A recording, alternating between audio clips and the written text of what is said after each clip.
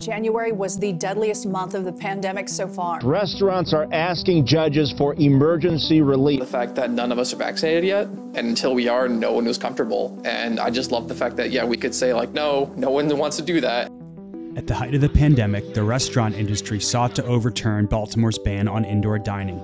They argued it was the only way they could stay in business but as studies linked indoor dining with increased COVID 19 infection and death rates, cooperatively owned restaurants voted to take a different path. It was just an obvious choice for us. Collectively, we weren't comfortable yet. Which is why we don't do indoor seating right now. The food service industry is known for its exploitative wages, unsafe working conditions, and high turnover. This has given a rise to a growing number of worker co ops. They operate democratically, pay living wages, and prioritize worker safety. When the pandemic hit, co ops sprung into action. Because of the people that's a part of it, so many brilliant minds, you know, working together, and it's not just falling on one person. I believe that's what really helped keep us afloat. In March 2020, Red Emma's closed its doors and with it their primary source of revenue, a typically bustling bookstore, restaurant, and bar, all of which doubled as an organizing and event space. They then shifted to deliveries, outdoor events, and opened a general store with other local co ops. I've been here four years, so the relationships I've built here with my colleagues, that's what got us through. Later, they opened for takeaway delivery and outdoor dining. Restaurants typically operate on thin margins. The pandemic forced the long term closure of as many as one in six. Half the jobs in Baltimore's restaurant sector were lost. Overall, 30% of small businesses said they feared closing permanently.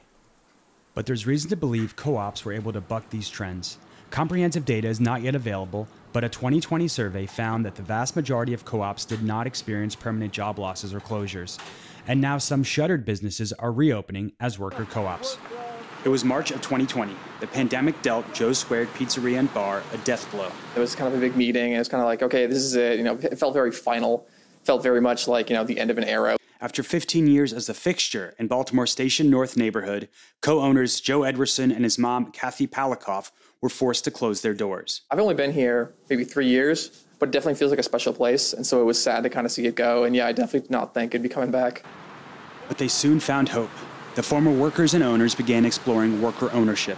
And after receiving a number of pandemic related grants, loans, and support from other worker owners, Joe Squared was able to reopen in December of 2020. I don't know that we would have gotten the support if we were just trying to come back traditionally. It's a more democratic way to operate. At Joe Squared, every collective member gets a vote. Most decisions require a simple majority. And if the restaurant's successful, we're all successful as uh, profit sharers. The workers decide things like how much they are paid. One of the main benefits is that the kitchen is part of the, the tip pool now. So we all we've been pooling tips forever, but uh, now the kitchen is part of that. So it's back of the house, front of the house, kind of being treated a lot more equally. This was paid for through a $3 charge on all orders, an example of how wages, salaries, and benefits can be higher in a co op. Converting to worker ownership is full of hurdles and can be a lengthy process. Five months after reopening, Joe Squared is still transitioning to worker ownership. We had a couple issues getting all of our documents and like financial documents in place. Another issue we had was like trying to really pin down what it's going to look like for us because every co op is different. But they didn't have to do it alone. The people over at Bread, they help businesses become worker owned co ops. They've been super helpful because none of us really knew how to do this before now.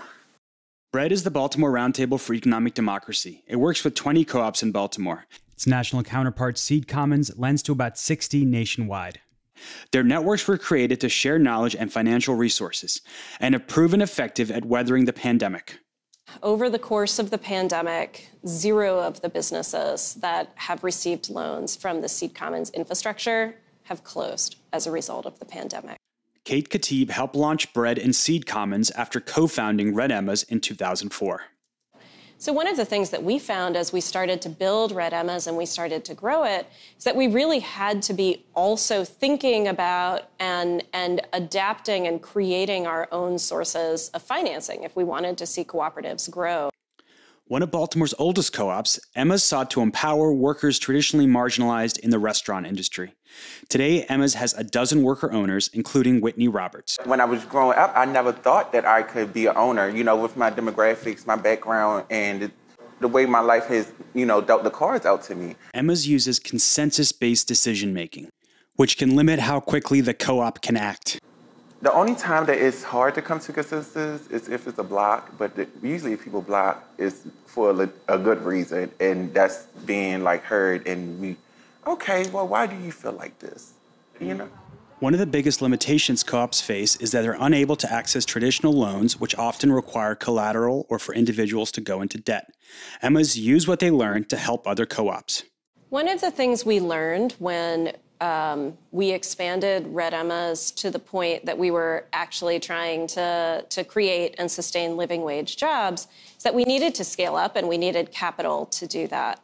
And we had an incredibly difficult time getting access to capital. So Emma's turned to the Working World, a New York based firm that loans money to co ops, payable back on favorable terms, and without requiring collateral. They gave us one of the first pieces of our financing to expand our business in 2013. And then we went back to them and said, you know, this was so hard for us. We want to create a way for other co ops to do this. We want to create a revolving loan fund here in, in Baltimore City. This led to the creation of Bread, which operates locally in Baltimore, and Seed Commons, which is now a $25 million fund that spans 26 cities. Don't look at personal credit. We don't take collateral interests in businesses other than the equipment that, that's purchased with the loans. That's a huge game changer for small businesses like ours. This infrastructure has helped co ops weather COVID 19 because of the resilience of those businesses. It's because of the resilience of the cooperative model. It's because of the hard, dedicated work of the people who run those businesses. And it's also, to a certain extent, I think, true because those businesses are a part of this much larger network that we're able to work together to create networks of solidarity, to provide mutual aid across geographic boundaries. In 2021, with the financial support of Bread, Emma's announced plans to purchase two buildings, which will become their forever home. A growing number of cities are supporting the efforts of cooperatives to build sustainable and inclusive businesses. But this support often pales in comparison to what's offered to big corporations. In 2019, Baltimore pledged $47,000 to help Bread convert businesses to worker ownership.